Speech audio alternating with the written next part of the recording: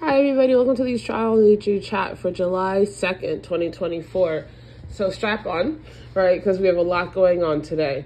So, the key for today is to allow yourself over the today and quite frankly in the next few weeks especially before the sun moves into leo to really do a check in with yourself about what you need to be nurtured what you need to be cared for how you can take the leadership position in nurturing and caring for yourself and being that energy of care and patience that the quote unquote ideal mother would offer. And if you haven't had these things in your past life or in your current life, allowing yourself to really learn how to do that and commit to that, especially since we now have Neptune joining the retrograde party in Pisces, which means we now have Saturn and Neptune retrograde in Pisces. And Neptune is going to be retrograde until December 7th. So we have this really long consideration of our emotions, right? Neptune retrograde asks us to reconsider our dreams, our visions, our addictions, our relationship to institutions, our subconscious, our imagination, and really highlighting where we have been, especially when we consider the fact that Saturn is also retrograde in Pisces, made structures for that in our life. And in one way or another, all of us have a deficit around this. Maybe we weren't really taught it. Maybe we weren't allowed to have it. Maybe there was a lot of trauma, so we didn't really get to enter into this space. But the universe, you know, the God is saying, okay, it's time to stop and think about this, um, especially since, and I want to do a little preview, we're going to have Saturn moving into Aries at some point. And so there's really going to be an energetic, um, reckoning or benefit about what you've done with yourself, particularly with the universe, what God has put inside of you to do in this life.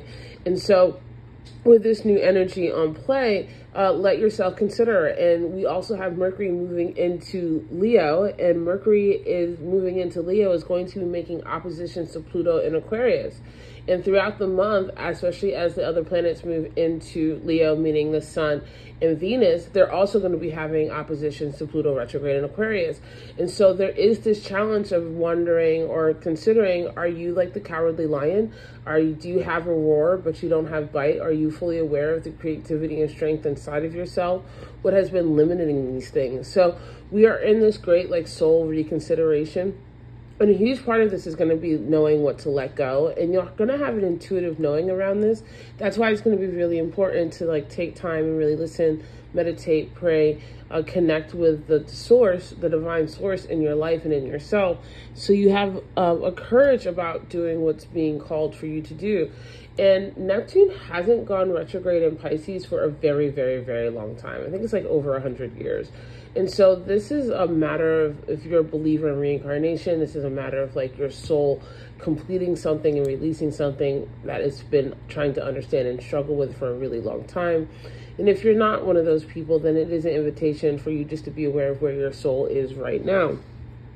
Now, to add all of the wonderful excitement we have, right, we also have Mercury in a trine with Neptune.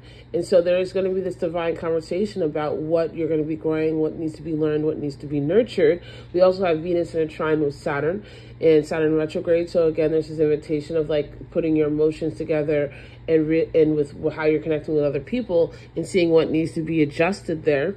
We do have Mercury having a sextile uh, with the moon that moved into Gemini at 11:42 a.m. So the first half of the morning it's all about Taurus, what we have. The second half of the day it's all about how we're connecting with other people.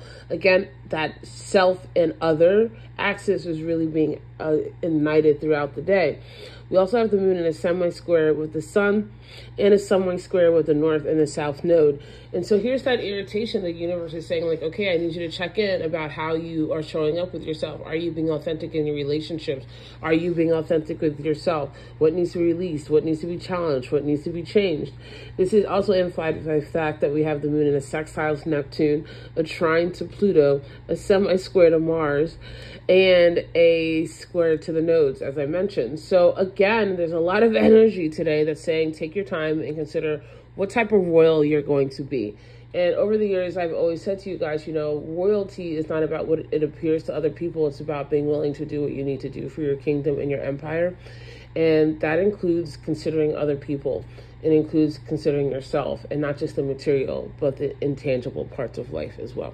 I love you guys so much, and I'll see you tomorrow.